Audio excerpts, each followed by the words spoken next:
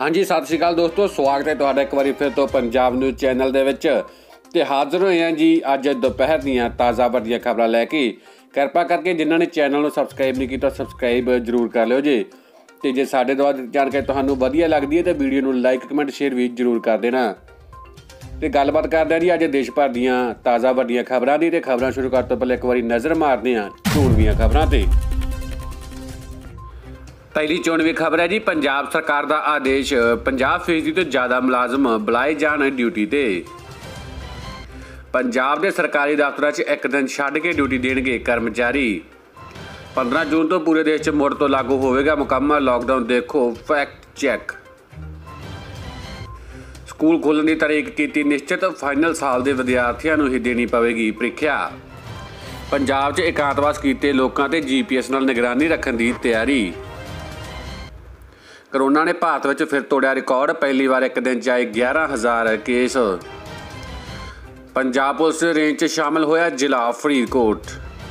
Rail ਯਾਤਰੀਆਂ ਲਈ ਖਾਸ ਖਬਰ ਇਹਨਾਂ ਰੇਲਾਂ 'ਚ ਮਿਲੇਗੀ ਪੱਕੀ ਟਿਕਟ, ਸੂਚੀ ਹੋਈ ਜਾਰੀ। ਧਰਮਿੰਦਰਾ ਦੇ ਹੀ ਮਾਨ ਢਾਬੇ ਤੇ ਕਬਜ਼ਾ, ਮੰਗੇ 1.5 ਕਰੋੜ ਕੇਸ ਹੋਇਆ ਦਰਜ। ਹੈਰਾਨੀਜਨਕ ਚੀਨੀ ਰਾਸ਼ਟਰਪਤੀ ਤੇ ਚੱਲੇਗਾ ਬਿਹਾਰ ਵਿੱਚ ਮੁਕੱਦਮਾ, ਮੋਦੀ ਤੇ ਟਰੰਪ ਦੇਣਗੇ ਗਵਾਹੀ। ਬਦਲ ਚੁੱਕੇ ਪੀਵੀਐਫ ਖਾਤੇ ਨਾਲ ਜੁੜੇ ਇਹ ਨਿਯਮ ਜ਼ਰੂਰ ਕਰ ਲਓ, ਇਹ ਕੰਮ ਨਹੀਂ ਤਾਂ ਹੋਵੇਗਾ ਵੱਡਾ ਨੁਕਸਾਨ। ਭਾਜਪਾ ਦੀ ਕਮਾਂਡ ਸੰਭਾਲ ਸਕਦੇ ਹਨ ਪ੍ਰਤਾਪ ਬਾਜਵਾ। ਸੂਬੇ 'ਚ ਕਰੋਨਾ ਨਾਲ 59ਵੀਂ ਮੌਤ 10 ਨਵੇਂ ਕੇ, ਪੋਜ਼ਿਟਿਵ ਕੇਸ, ਐਕਟਿਵ ਕੇਸ 640 ਤਾਂ ਦੋਸਤੋ ਇਹ ਸੀਗੀਆਂ ਸਮੇਂ ਦੀਆਂ ਚੋਣਵੀਆਂ ਖਬਰਾਂ ਤੇ ਗੱਲਬਾਤ ਕਰਨ ਜਾ ਰਹੇ ਹਾਂ ਜੀ, ਪਹਿਲੀ ਵੱਡੀ ਖਬਰ ਦੀ। ਕਿ ਪੰਜਾਬ ਸਰਕਾਰ ਦਾ ਆਦੇਸ਼ ਹੈ 50% ਤੋਂ ਜ਼ਿਆਦਾ ਮੁਲਾਜ਼ਮ ਬੁਲਾਏ ਜਾਣ ਡਿਊਟੀ ਤੇ। ਜੀ ਹਾਂ ਦੋਸਤੋ, ਇੱਕ ਨਵਾਂ ਆਦੇਸ਼ ਜਾਰੀ ਹੋਇਆ ਕਿ ਹੁਣ ਕਿਸੇ ਵੀ ਵਿਭਾਗ ਦੇ ਮੁਲਾਜ਼ਮਾਂ ਨੂੰ ਡਿਊਟੀ ਤੇ ਬੁਲਾਇਆ ਜਾ ਸਕੇਗਾ ਤੇ ਪੰਜਾਬ ਸਰਕਾਰ ਨੇ ਵਿਭਾਗਾਂ ਵਿੱਚ 50% ਤੋਂ ਜ਼ਿਆਦਾ ਮੁਲਾਜ਼ਮਾਂ ਨੂੰ ਡਿਊਟੀ ਤੇ ਬੁਲਾਉਣ ਲਈ ਆਗਿਆ ਜਿਹੜੀ ਦਿੱਤੀ ਹੈ ਤੇ ਮੁੱਖ ਸਕੱਤਰ ਕਰਨ ਅਵਤਾਰ ਸਿੰਘ ਵੱਲੋਂ ਜਾਰੀ ਪੱਤਰ ਅਨੁਸਾਰ ਦਫ਼ਤਰ ਵਿੱਚ 50% ਤੋਂ ਵੱਧ ਮੁਲਾਜ਼ਮਾਂ ਨੂੰ ਡਿਊਟੀ ਤੇ ਬੁਲਾਇਆ ਜਾਵੇ ਤੇ ਇਹਨਾਂ ਮੁਲਾਜ਼ਮਾਂ ਦੀਆਂ ਟੀਮਾਂ ਬਣਾਈਆਂ ਜਾਣ ਤਾਂ ਕਿ ਮੁਲਾਜ਼ਮਾਂ ਵਿੱਚ ਸਰੀਰਕ ਦੂਰੀ ਬਣੀ ਰਹੇ। ਜੇਕਰ ਕੋਈ ਮੁਲਾਜ਼ਮ ਕਰੋਨਾ ਇਨਫੈਕਟਡ ਪਾਇਆ ਜਾਂਦਾ ਹੈ ਤਾਂ ਉਹਨਾਂ ਨੂੰ ਇਕਾਂਤਵਾਸ ਵਿੱਚ ਭੇਜਿਆ ਜਾਵੇਗਾ। ਦੂਜੀ ਵੱਡੀ ਖਬਰ ਹੈ ਜੀ ਕਿ ਪੰਜਾਬ ਦੇ ਸਰਕਾਰੀ ਦਫ਼ਤਰਾਂ ਵਿੱਚ ਇੱਕ ਦਿਨ ਛੱਡ ਕੇ ਡਿਊਟੀ ਕਰਨਗੇ ਕਰਮਚਾਰੀ। ਜੀ ਹਾਂ ਦੋਸਤੋ ਕੋਵਿਡ-19 ਮਹਾਮਾਰੀ ਦੇ ਬਚਾਅ ਤੋਂ ਲਈ ਪੰਜਾਬ ਸਰਕਾਰ ਨੇ ਆਪਣੇ ਦਫ਼ਤਰਾਂ ਵਿੱਚ ਕਰਮਚਾਰੀਆਂ ਦੀ ਹਾਜ਼ਰੀ ਦੇ ਬਾਰੇ ਵਿੱਚ ਇੱਕ ਨਵਾਂ ਫਾਰਮੂਲਾ ਲਾਗੂ ਕਰਨ ਦਾ ਫੈਸਲਾ ਕੀਤਾ ਹੈ ਤੇ ਹੁਣ ਕਰਮਚਾਰੀ ਇੱਕ ਦਿਨ ਛੱਡ ਕੇ ਡਿਊਟੀ ਕਰਨਗੇ। ਤੇ 50% ਕਰਮਚਾਰੀ ਪਹਿਲੇ ਦਿਨ ਆਉਣਗੇ ਤੇ ਦੂਜੇ ਦਿਨ ਬਾਕੀ ਬਚੇ 50% ਕਰਮਚਾਰੀ ਦਫ਼ਤਰ ਵਿੱਚ ਆ ਕੇ ਡਿਊਟੀ ਜਿਹੜੀ ਕਰਨਗੇ ਤੇ ਹੁਣ ਤੱਕ ਦਫ਼ਤਰਾਂ ਵਿੱਚ 50% ਕਰਮਚਾਰੀ ਇੱਕ ਹਫ਼ਤੇ ਦਫ਼ਤਰ ਆ ਕੇ ਡਿਊਟੀ ਕਰਦੇ ਸੀ, ਅਗਲੇ ਹਫ਼ਤੇ ਭਰ ਵਿੱਚ ਬਚੇ ਹੋਏ ਕਰਮਚਾਰੀ ਦਫ਼ਤਰਾਂ ਵਿੱਚ ਇਸ ਨਵੇਂ ਨਿਯਮਾਂ ਬਾਰੇ ਸਾਰੇ ਵਿਭਾਗ ਮੁਖੀਆਂ ਨੂੰ 19 ਜੂਨ ਤੱਕ ਵਿਭਾਗ ਨੂੰ ਸੂਚਿਤ ਕਰਨ ਲਈ ਕਿਹਾ ਗਿਆ ਹੈ।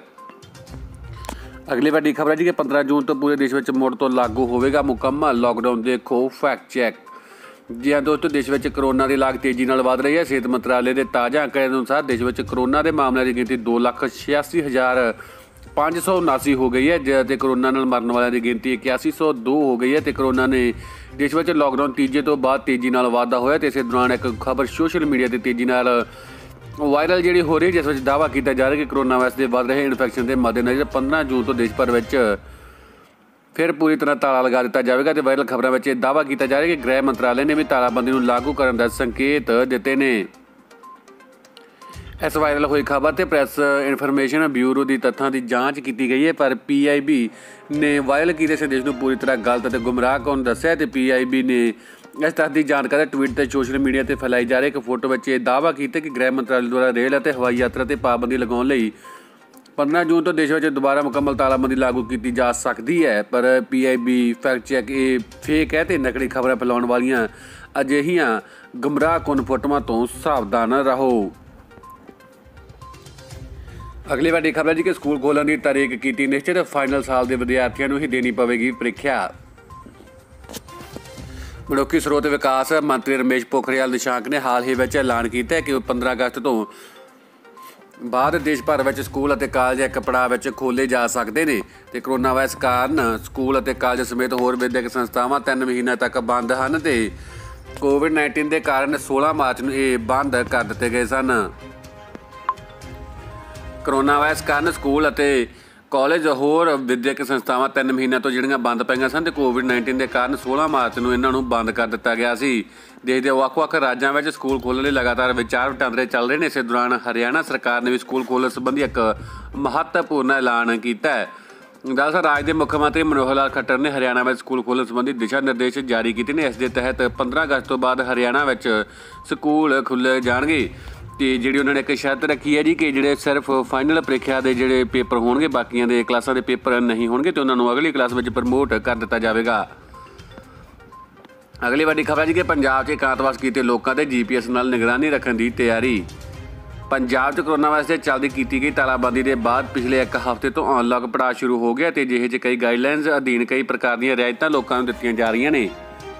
ਹਾਲਾਂਕਿ ਸਰਕਾਰ ਇਕਾਂਤਵਾਸ ਮਾਸਕ ਅਤੇ ਹੋਰ ਹਦਾਇਤਾਂ ਦੀ ਪਾਲਣਾ ਨਾ ਕਰਨ ਵਾਲਿਆਂ ਤੇ ਵੀ ਸਕੰਜਾ ਕੱਸ ਰਹੀ ਹੈ ਤੇ ਹੁਣ ਪੰਜਾਬ ਸਰਕਾਰ ਵੱਲੋਂ ਘਰ 'ਚ ਇਕਾਂਤਵਾਸ ਕਰਨ ਦੇ ਦਿਸ਼ਾ ਨਿਰਦੇਸ਼ਾਂ ਦੀ ਉਲੰਘਣਾ ਕਰਨ ਵਾਲਿਆਂ ਤੇ ਨਜ਼ਰ ਰੱਖ ਲਈ ਗਲੋਬਲ ਪੋਜੀਸ਼ਨਿੰਗ ਸਿਸਟਮ ਟਰੈਕਟਰ ਖਰੀਦਣ ਤੇ ਵਿਚਾਰ ਕਰ ਰਹੀ ਹੈ। ਯਾਨੀ ਕਿ ਜੀਪੀਐਸ ਜਿਸ ਨੂੰ ਦਾ ਨਾਂ ਦਿੱਤਾ ਗਿਆ, ਇਹ ਅਧਿਕਾਰੀ ਨੇ ਬੁੱਧਵਾਰ ਨੂੰ ਦੱਸਿਆ ਕਿ ਇਹ ਸਿਮ ਕਾਰਡ ਤੋਂ ਲੈਸ ਟਰੈਕਰ ਕੁਆਰਟਾਈਨ ਦੇ ਦਿਸ਼ਾ ਨਿਰਦੇਸ਼ਾਂ ਦਾ ਉਲੰਘਣ ਕਰਨ ਵਾਲਿਆਂ ਨੂੰ ਫੜਨ ਲਈ ਰਾਜ ਸਰਕਾਰ ਦੇ ਕੋਆ ਐਪ ਨਾਲ ਜੋੜਿਆ ਜਾ ਸਕਦਾ ਹੈ। ਅਗਲੀ ਵਾਰ ਦੀ ਖਬਰ ਹੈ ਕਿ ਕਰੋਨਾ ਨੇ ਭਾਰਤ ਵਿੱਚ ਫਿਰ ਤੋੜਿਆ ਰਿਕਾਰਡ। ਪਹਿਲੇ ਵਾਰ ਇੱਕ ਦਿਨ 'ਚ 11000 ਕੇਸ ਹੋਏ ਦਰਜ।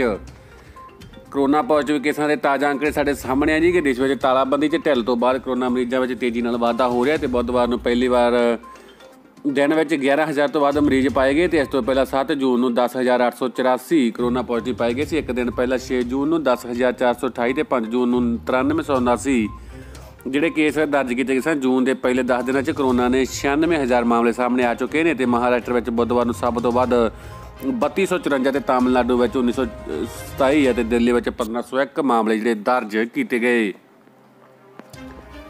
ਅਗਲੀ ਵੱਡੀ ਖਬਰ ਹੈ ਕਿ ਪੰਜਾਬ ਪੁਲਿਸ ਰੇਂਜ 'ਚ ਸ਼ਾਮਲ ਹੋਇਆ ਜ਼ਿਲ੍ਹਾ ਫਰੀਦਕੋਟ।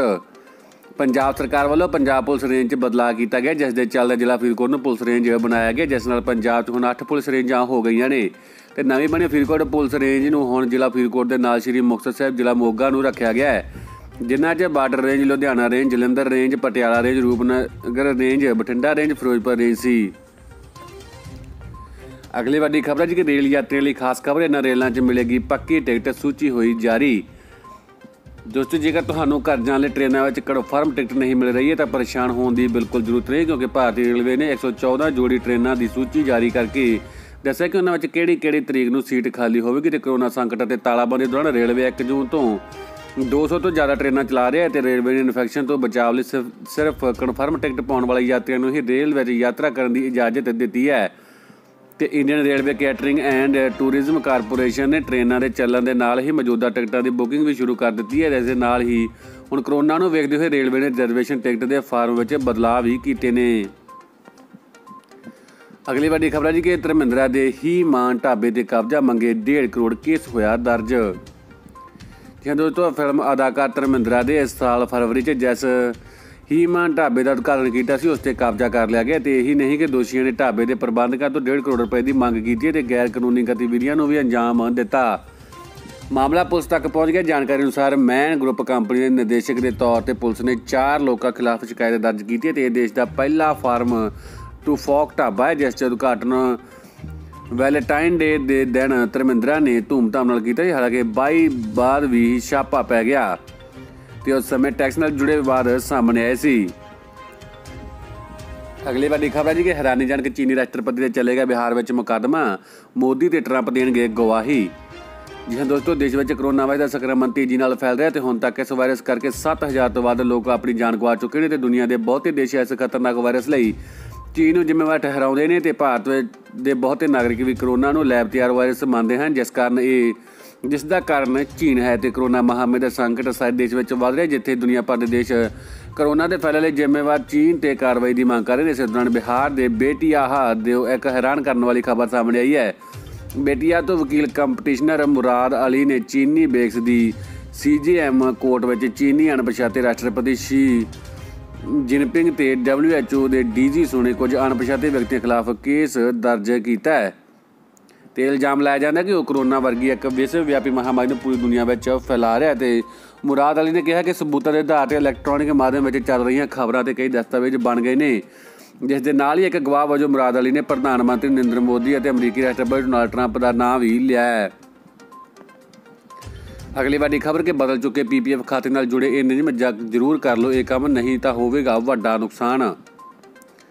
ਭਾਰਤ ਸਰਕਾਰ ਨੇ ਵਿੱਤੀ ਸਾਲ 2019-20 ਲਈ ਪੀਪੀਐਫ ਵਿੱਚੋਂ ਘੱਟੋ-ਘੱਟ ਜਮ੍ਹਾਂ ਰਕਮ ਦੀ ਆਖਰੀ ਤਰੀਕ 30 ਜੂਨ ਤੱਕ ਵਧਾ ਦਿੱਤੀ ਹੈ ਤੇ ਪਹਿਲਾਂ ਇਹਦੀ ਆਖਰੀ ਮਿਤੀ 31 ਮਾਰਚ 2020 ਸੀ। ਜੇ ਤੁਸੀਂ ਇਸ ਮਹੀਨੇ ਦੇ ਅੰਤ ਤੱਕ ਘੱਟੋ-ਘੱਟ 500 ਰੁਪਏ ਜਮ੍ਹਾਂ ਨਹੀਂ ਕਰਦੇ ਤਾਂ ਤੁਹਾਨੂੰ ਜੁਰਮਾਨਾ ਜਿਹੜਾ ਕੀਤਾ ਜਾ ਸਕਦਾ ਤੇ ਇਸੇ ਤਰ੍ਹਾਂ ਤੁਸੀਂ ਅਪ੍ਰੈਲ ਅਤੇ ਮਈ 2020 ਵਿੱਚ ਆਪਣੇ ਰਿਕਰਿੰਗ ਡਿਪੋਜ਼ਿਟ ਖਾਤੇ ਵਿੱਚ ਜਮ੍ਹਾਂ ਨਹੀਂ ਕਰ ਪਾਉਂਦੇ ਹੋ ਤਾਂ ਤੁਸੀਂ ਬਿਨਾਂ ਕਿਸੇ ਜੁਰਮਾਨੇ ਦੇ 30 ਜੂਨ ਤੱਕ ਨਿਵੇਸ਼ ਕਰ ਸਕਦੇ ਹੋ। ਅਗਲੀ ਵਾਰੀ ਖਬਰ ਜੀ ਕਿ ਭਾਜਪਾ ਦੀ ਕਮਾਨ ਸੰਭਾਲ ਸਕਦੇ ਨੇ ਪ੍ਰਤਾਪ ਬਾਜਵਾ। ਜਾਂ ਦੋਸਤੋ, ਸ੍ਰੀ ਅਕਾਲ ਤਖਤ ਸਾਹਿਬ ਦੇ ਜਥੇਦਾਰ ਗਿਆਨੀ ਹਰਪ੍ਰੀਤ ਸਿੰਘ ਅਤੇ ਸ਼੍ਰੋਮਣੀ ਗੁਰਦੁਆਰਾ ਪ੍ਰਬੰਧਕ ਕਮੇਟੀ ਦੇ ਪ੍ਰਧਾਨ ਭਾਈ ਗੋਬਿੰਦ ਸਿੰਘ ਲੌਂਗੋਵਾਲ ਵੱਲੋਂ ਖਾਲਿਸਤਾਨ ਦੀ ਹਮਾਇਤ ਵਾਲੇ ਬਿਆਨਾਂ ਦੇ ਸਮੁੱਚੀ ਰਾਜਨੀਤੀ ਵਿੱਚ ਭਾਂਬੜ ਮਚਾ ਕੇ ਰੱਖ ਦਿੱਤਾ ਹੈ। ਤੇ ਦਿਨ ਭਾਜਪਾ ਤੇ ਹੋ ਜਥੇਬੰਦੀਆਂ ਦੇ ਆਗੂ ਇਹਨਾਂ ਦੋਵਾਂ ਦੇਸ਼ ਧਰੋਹਾਂ ਦਾ ਪਰਚਾ ਦਰਜ ਕਰਨ ਦੀ ਮੰਗ ਕਰ ਰਹੇ ਨੇ। ਜਿਸ ਨਾਲ ਹੁਣ ਸ਼੍ਰੋਮਣੀ ਅਕਾਲੀ ਦਲ ਨੂੰ ਵੱਡੀ ਢਾਹ ਲੱਗਣ ਦੇ ਨਾਲ ਨਾਲ ਭਾਜਪਾ ਨਾਲੋਂ ਵੀ ਤੋੜ ਵਿਛੋੜਾ ਹੋਣਾ ਤੈਅ ਦਿਸ ਰਿਹਾ ਹੈ ਤੇ ਖਾਲਿਸਤਾਨ ਦੇ ਮੁੱਦੇ ਤੇ ਭਾਜਪਾ ਨੇ ਦੋ ਟੁਕ ਗੱਲ ਕਰਦੇ ਹੋਏ ਇਹਨਾਂ ਦੋਵਾਂ ਦੇ ਪਰਚਾ ਦਰਜ ਕਰਨ ਦੀ ਮੰਗ ਕੀਤੀ, ਜਿਸ ਨਾਲ ਕੇਂਦਰੀ ਮੰਤਰੀ ਹਰਸਿਮਰਤ ਕੌਰ ਬਾਦਲ ਦੀਆਂ ਮੁਸ਼ਕਲਾਂ ਵਿੱਚ ਵਾਧਾ ਹੋ ਗਿਆ। ਸੇ ਦਬਾਅ ਹੇਠ ਉਸ ਨੂੰ ਮੰਤਰੀ ਮੰਡਲ ਵਿੱਚੋਂ ਅਸਤੀਫਾ ਵੀ ਦੇਣਾ ਪੈ ਸਕਦਾ ਹੈ। ਉੱਥੇ ਭਾਜਪਾ ਸੂਬੇ ਅੰਦਰ ਵੱਖਰੇ ਤੌਰ ਤੇ 2022 ਦੀ ਵਿਧਾਨ ਸਭਾ ਚੋਣ ਲੜਨ ਦਾ ਰਾਗ ਪਹਿਲਾਂ ਵੀ ਕਈ ਵਾਰ ਆਲਾਪ ਚੁੱਕਿਆ ਹੈ। ਜਿਸ ਨੂੰ ਹਾਲ ਦੀ ਘੜੀ ਵਿੱਚ ਬੂਰ ਪੈਂਦਾ ਦਿਖਾਈ ਦੇ ਰਿਹਾ ਤੇ ਭਰੋਸੇਯੋਗ ਸੂਤਰਾਂ ਤੋਂ ਪਤਾ ਚੱਲਿਆ ਕਿ ਭਾਜਪਾ ਹਾਈ ਕਮਾਂਡ ਦੇ ਸੂਬੇ ਅੰਦਰ ਸਿੱਖ ਚਿਹਰਿਆਂ ਤੇ ਆਪਣਾ ਪੱਤਾ ਖੇਡਣ ਦੀ ਚਾਰਾਜੋਈ ਸ਼ੁਰੂ ਕਰ ਦਿੱਤੀ, ਜਿਸ ਵਿੱਚ ਸਭ ਤੋਂ ਵੱਧ ਆਪਣੀ ਹੀ ਕਾਂਗਰਸ ਪਾਰਟੀ ਦੀ ਸਰਕਾਰ ਨੂੰ ਘੇਰਨ ਵਾਲੇ ਤੇਜ਼ ਤਰਾਰ ਨੇਤਾ ਅਤੇ ਮੈਂਬਰ ਰਾਜ ਸਭਾ ਪ੍ਰਤਾਪ ਸਿੰਘ ਬਾਜਵਾ ਦਾ ਨਾਮ ਮੋਹਰੀ ਕਤਾਰ ਵਿੱਚ ਚੱਲ ਰਿਹਾ ਹੈ। ਅਗਲੀ ਵੱਡੀ ਖਬਰ ਹੈ ਜੀ ਕਿ ਸੂਬੇ 'ਚ ਕਰੋਨਾ ਨਾਲ 59ਵੀਂ ਮੌਤ 10 ਪੋਜ਼ਿਟਿਵ ਕੇਸ ਆਏ।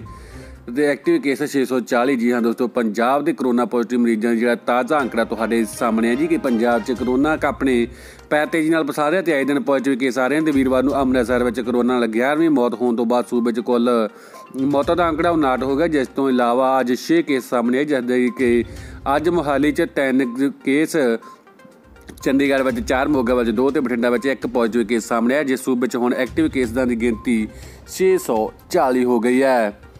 ਤਾਂ ਦੋਸਤੋ, ਇਹ ਸੀਗੀਆਂ ਇਸ ਸਮੇਂ ਦੀਆਂ ਆਪਣੀਆਂ ਵੱਡੀਆਂ ਖਬਰਾਂ। ਸਾਡੇ ਦੁਆਰਾ ਦਿੱਤੀ ਜਾਣਕਾਰੀ ਤੁਹਾਨੂੰ ਕਿਦਾਂ ਦੀ ਲੱਗੀ, ਸਾਨੂੰ ਮੈਸੇਜ ਜ਼ਰੂਰ ਕਰਨਾ ਤੇ ਅਸੀਂ ਹਾਜ਼ਰ ਹੋਵਾਂਗੇ ਤੁਹਾਡੇ ਲਈ ਹੋਰ ਖਬਰਾਂ ਲੈ ਕੇ। ਹੁੰਦੇ ਲਈ ਇੰਨਾ ਹੀ, ਧੰਨਵਾਦ